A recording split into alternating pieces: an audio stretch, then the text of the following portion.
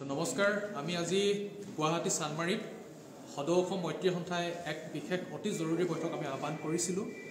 বৰ্তমান সময়খিনিত সমগ্ৰ অসমতে অসম পশুপালন আৰু পশু চিকিৎসা বিভাগে এন এ টি চি পিৰ অধীনত যি এফ এম ডি ভেকচিন প্ৰদান কৰিছিল এই ভেকচিন প্ৰদান কৰাৰ ক্ষেত্ৰত আমাৰ মৈত্ৰী সন্থাই দুহেজাৰ ঊনৈছ চনৰ পৰা সাম্প্ৰতিক সময়খিনিলৈকে এক টকাও নোপোৱাকৈ আমি কাম কৰি আছিলোঁ।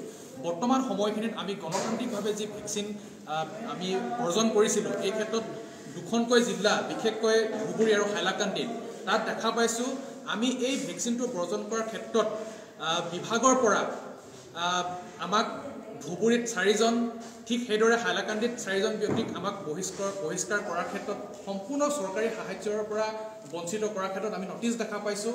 ইয়াৰ উপৰিও প্ৰতিখন জিলাৰ ডি ভি অ' ছাৰসকল চিকিৎসক ছাৰসকলে আমাক ভাবুকি প্ৰদান কৰে যে কি তেখেতলোকে আমি কৃত্ৰিম প্ৰজনন কৰা ব্যক্তিসকলক সকলো চিমেণ্টৰ পৰা আদি কৰি লিকুইড নাইট্ৰজেনৰ পৰা আদি কৰি সকলোবিলাক সা সুবিধা বন্ধ কৰা হ'ব। তো এই ক্ষেত্ৰত আমি যথেষ্ট দুখী অনুভৱ কৰিছোঁ। যিহেতুকে আমি যদি আমি আলদাৰ ওচৰলৈ গুচি যাওঁ আমি যি এজেঞ্চিৰ ওচৰত আমি প্ৰশিক্ষণ কৰিছোঁ গ্ৰহণ কৰিছিলোঁ সেই প্ৰশিক্ষণ গ্ৰহণ কৰাৰ ক্ষেত্ৰত যদি আমি তাত যাবলৈ যাওঁ তেতিয়া কয় তেখেতলোকে ভেকচিনৰ কাম আমাৰ নহয়। এই ক্ষেত্ৰত আমি যথেষ্ট দুখ পাইছোঁ। যিহেতুকে যদি বিভাগত কাম কৰিবলগীয়া হয় ডাইৰেক্টৰ বাইদেউ অফিচত যদি গুচি যাওঁ তেতিয়া কয় তেখেতে আমাৰ আপোনালোক আমি আমাৰ মানুহ ইয়াৰ মানুহ নহয়। তেনেকুৱা ধৰণৰ আমাৰ এটা বিভিন্ন ধৰণৰ খেলি মেলি এটাৰ মাজত আমি পাজলত পৰি আছোঁ। তো আমি ভেকচিনৰ কাৰণে আমি এশ শতাংশই ভালকৈ কৰিম। যদি ভেকচিন কৰাৰ ক্ষেত্ৰত যদি আমাৰ কোনো নিৰাপত্তা নাথাকে মাহিলী যদি আমি এক টকাও নাপাওঁ যথেষ্ট অসুবিধা হয়। আমাৰো ঘৰ এখন আছে মৈত্ৰী এখন হৃদয় আছে মৈত্ৰীৰ মা দেউতা আছে মৈত্ৰীৰ ল'ৰা ছোৱালী আছে।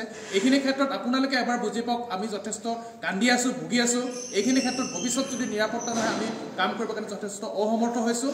আপোনালোকে এই দাবীখিনি বা আমাৰ এই কথাখিনি অনুভৱ কৰি ভৱিষ্যত দূৰ ভৱিষ্যতে যাতে কিবা এটা কৰি দিয়ক তাৰ কাৰণে আমি কাটৰ অনুৰোধ জনাইছোঁ। এইখিনিকে কৈ আজি আমি এই অনুষ্ঠানটো সামৰণি মাৰিছোঁ আৰু। ধন্যবাদ আমি অসমৰ মাননীয় মুখ্যমন্ত্ৰী ছাৰদেৱকো আমি কাটৰ অনুৰোধ জনাইছোঁ যে বিষয়টো অতি গুৰুত্ব সহকাৰে লৈ আমাক এটা সম্পদ আছে।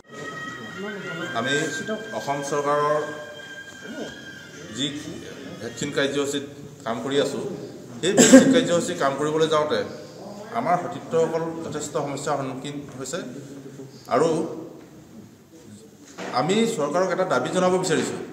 আমাৰ সতীৰ্থসকলে কাম কৰি থকা অৱস্থাত যদি পশুধনৰ খুন্দাত হাত এখন বা ভৰি এটা ভাঙি যায় বা কাম কৰিব পৰা অৱস্থাৰ পৰা আঁতৰি যাবলগীয়া হয় মানুহজন তেতিয়াহ'লে চৰকাৰে কিবা এটা ক্ষতিপূৰণ আমাক দিবলৈ ব্যৱস্থা কৰক।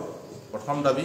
দ্বিতীয় দাবী কৰ্মথলীলৈ গৈ থকা অৱস্থাত যদি আমাৰ কোনো এজন সতীৰ্থৰ কিবা এক্সিডেণ্ট হয় যান্ত্ৰিক বিজুতি হয় তেতিয়াহ'লে সেই মানুহজনৰ ভৱিষ্যতৰ নিৰাপত্তাৰ কথা চিন্তা কৰক। এইখিনি চিন্তা কৰি তেখেতলোকে আমাক কাম কৰিবলৈ বিভাগক আমি সহায় কৰিব পৰাকৈ আমাক এটা সুব্যৱস্থা কৰি দিবৰ কাৰণে আমি অসম চৰকাৰৰ মুখ্যমন্ত্ৰী মহোদয়ক বিনম্ৰ অনুৰোধ জনাইছোঁ। ইয়াকে কৈ মোৰ ক'বলগীয়াখিনি মই সামৰণি মাৰিছোঁ